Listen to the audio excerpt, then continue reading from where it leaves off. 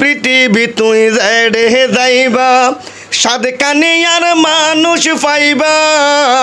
আবার ব্যবসায়ী হল সাদকানিয়ার ব্যবসায়ী হল লোহা গাড়ার, ব্যবসায়ী হল সাদকানিয়ার বিদেশ তো আছে নাম। সাতকানিয়ার এই মানুষ, সাতকানিয়ার মাটি ও মানুষের সাথে উনি সম্পর্ক রাখেন। এই জন্য আমি এই যে সাতকানিয়া সারা বিশ্ব জুড়ে আলোচনা ঝড় তুলেছেন এই সাতকানিয়াওয়ালা, এই সমস্ত কথাবার্তারাওয়ালা, এবং কি যে কোনো দেশে প্রবাসীরা আছে, সেখানে সাতকানিয়াওয়ালার নাম আলোচনা আলোচনা থাকে। এই জিনিসটা সম্পর্কে যদি কিছু বলতেন। আসলে বিষয় হচ্ছে, আমি চট্টগ্রামের আঞ্চলিক ভাষাকে ভালোবাসি। আমার মায়ের ভাষায় কথা বলতে চেষ্টা করি। আমি আলহামদুলিল্লাহ বিভিন্ন দেশে, বিভিন্ন জায়গায় সফর করেছি। বিশেষ করে যেখানে যাই না কেন, আমাদের সাতকানিয়া এবং দক্ষিণ সাতকানিয়া, বর্তমান লোহাগাড়া, উত্তর সাতকানিয়া, বর্তমান সন্দানাসের কিছু অংশ। চট্টগ্রাম তথা বাংলাদেশ, সারা বিশ্বে আমাদের সাতকানিয়ার মানুষ ব্যবসায়িক হিসেবে পরিচিত। আমি আমার একটা গানের মাধ্যমে তুলে ধরছিলাম আর কি। আমাদের চট্টগ্রামের আঞ্চলিক ভাষায়। পৃথিবী তুই রেখে যাইবা, চট্টগ্রামের মানুষ পাইবা। পৃথিবী তুই রেখে যাইবা, চট্টগ্রামের মানুষ পাইবা। আবার ব্যবসায়ী হলে সাত কানিয়ার, ব্যবসায়ী হলে সাত কানিয়ার পুরা বিশ্বে আছে নাম।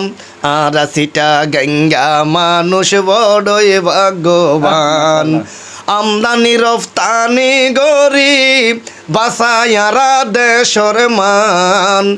আমদানি রফতানি গরিব, বাসায়ারা দেশর মান। আর সিটা গঙ্গা মানুষ বড়ই ভাগ্যবান।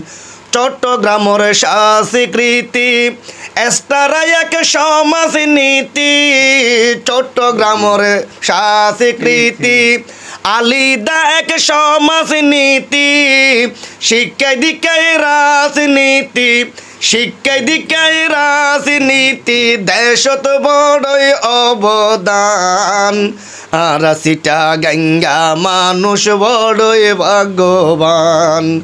আমদানি, রফতানি, গরিব ভাষায়ারা দেশর মান, আমদানি রফতানি গরিব।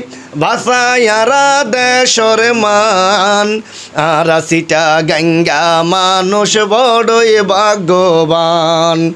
চট্টগ্রামত বন্দর আছে, এশিয়ার সেরা আর অবদান বলিবে তোরা চট্টগ্রামত বন্দর আছে, এশিয়ার সেরা।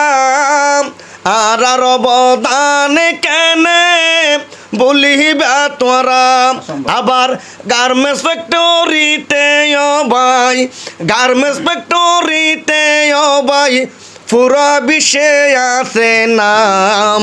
আর সিটা গঙ্গা মানুষ বড়ই ভাগ্যবান। আমদানি, রফতানি, গরিব ভাষায়ারা দেশর মান। আমদানি, রফতানি, গরিব ভাষায়ারা দেশর মান। আর সিটা গঙ্গা মানুষ বড়ই ভাগ্যবান। পৃথিবী তুই জেড়ে যাইবা এই চট্টগ্রামের মানুষ পাইবা। পৃথিবী তুই জেড়ে যাইবা। সাদকানিয়ার মানুষ পাইবা।